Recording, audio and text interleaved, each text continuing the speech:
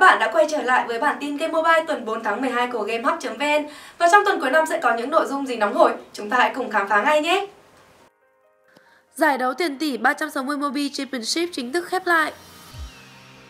Đua top ỷ thiên 3D, ngôi vương đã có chủ mới. Thử tài huấn luyện thú với Poke đại chiến.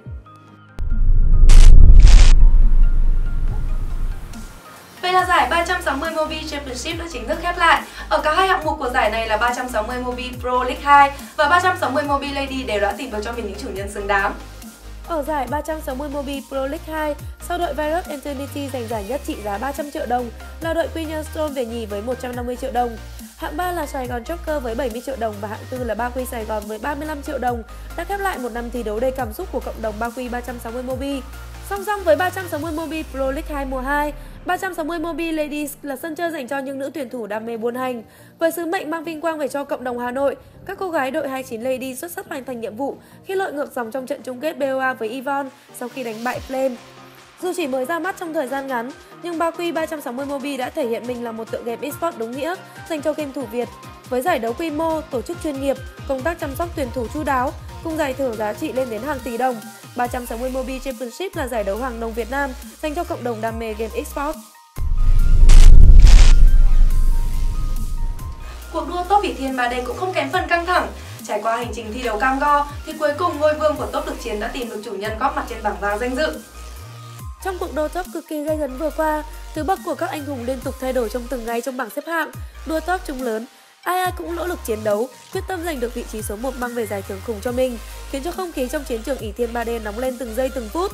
Cuối cùng, vượt qua hàng ngàn đối thủ, anh hùng Phạm Hà đã xuất sắc bước lên ngôi vị cao nhất cao thủ đua top và đưa tên tuổi vàng danh khắp thiên hạ.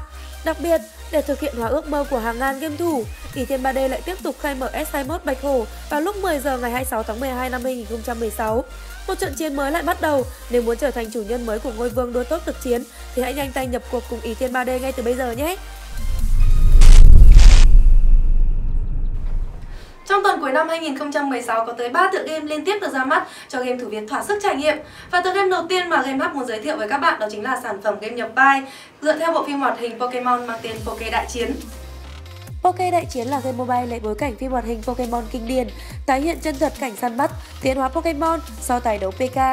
Số lượng Pokemon trong game lên đến 981 con, 100% Pokemon đều lấy nguyên bản từ phim hoạt hình. Đồ họa 3D đặc sắc tái hiện phong cách Pokemon nguyên bản, bất kể là Pikachu đáng yêu hay Squirtle dũng mãnh đều có thể thu phục trong game. Với chất lượng âm thanh hình ảnh tuyệt đẹp, các hệ thống Pokemon thú vị và hấp dẫn như vậy, chắc chắn Poke Đại Chiến sẽ làm hài lòng ngay cả những game thủ khó tính nhất. Có thể nói, thế giới hoàn mỹ luôn luôn được nhắc đến và đi cùng Perfect World như một thương hiệu. Sau một thời gian dài, tưởng chừng như tựa game này đã đi vào quên lãng, nhưng mới đây, khi những thông tin về việc nhà phát hành VTC tung ra thị trường thế giới hoàn mỹ, thì tựa game này đã nhanh chóng thu hút được sự ủng hộ của cộng đồng game thủ. Vậy là thế giới hoàn mỹ VTC đã có một màn open beta khá ấn tượng vào ngày 28 tháng 12 vừa qua, thu hút được số lượng đông đảo game thủ tham gia trải nghiệm. Tựa game này được xây dựng từ chính đội ngũ thiết kế làm nên web game huyền thoại cùng tên, nhưng được phát triển vượt trội hơn nền tảng đồ họa Unity 3D hiện đại và gameplay thế hệ mới phù hợp với người dùng smartphone. Vẫn mang tới một câu chuyện bằng phong cách huyễn huyễn quen thuộc, nhưng thế giới hoàn mỹ VTC lại có sự đột phá trong cách xây dựng gameplay.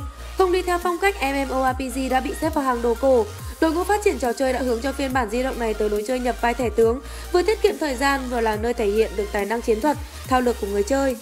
Bởi vậy chắc chắn, cái tên Thế giới hoàn mỹ sẽ nhận được nhiều sự quan tâm từ phía cộng đồng game thủ. Và tựa game cuối cùng mà Game Hub muốn giới thiệu với các bạn trong tuần này đó chính là một tựa game nhập vai chiến thuật cực kỳ hấp dẫn đến từ nhà phát hành Việt Nam Esports mang tên Tây Thiên Ký. Tây Thiên Ký Garena thuộc thể loại game mobile nhập vai chiến thuật đánh theo lượt, có nền tảng đồ họa 2.5D. Trò chơi được xây dựng trên bối cảnh cùng cốt truyện Tây Du Ký quen thuộc với cộng đồng game thủ châu Á. Trong game, bạn sẽ trở thành nghiệp khách để trợ lực cho đường tăng và các đồ đệ trên đường đến Tây Thiên Thỉnh Kinh. Trong hành trình này, những câu chuyện và thông điệp ý nghĩa được lồng ghép tinh tế vào hệ thống tính năng, nhiệm vụ đồ sộ của game để tái hiện lại huyền thoại Tây Du theo một hướng đầy mới mẻ và hấp dẫn hơn bao giờ hết. Vậy là tuần cuối năm 2016 đã khép lại với rất nhiều tựa game thú vị. Chúc các bạn có một năm mới dồi dào sức khỏe. Không cần chơi nhiều game đâu nhưng mà hãy xem clip của mình thật nhiều nhé. Xin chào và hẹn gặp lại.